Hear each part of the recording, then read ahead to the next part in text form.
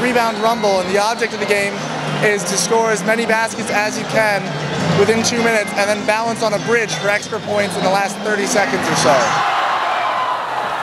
The match is about two minutes of teleoperated control, which is where the drivers are controlling it, and you have 15 seconds of uh, the robots running their own code. After a winter break in January, um, we get the game, and there's like a big rule book that you have to follow, um, and we have six weeks to design a robot that will play that game. Usually every day after school we have a dedicated group of students that comes in until about 5.30 and on weekends we're usually there from 8 a.m. till 4 p.m. Annually, every year we have a budget of about $50,000. Um, this is a really expensive program to run so we need to find a way to fundraise the money to make our program work.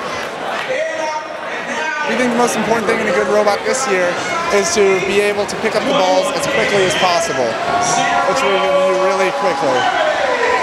In 2009, we built a robot that placed us third in the world using our brush mechanism that we have on our current robot.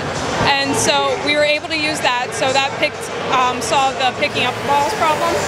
But then balancing, we've never done anything like that before. So we've had to work around that, and we've come up with some secret weapons it's hard. It's really hard, but that's the whole point.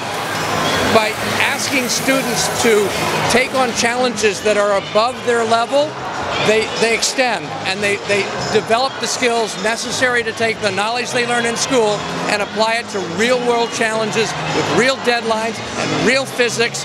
You know, if, if you hit it hard, it's going to break, and that's important in life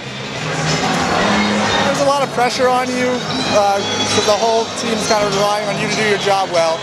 But at the end of the day, as long as you do it, you know that whether you win or lose, you're going to have their support.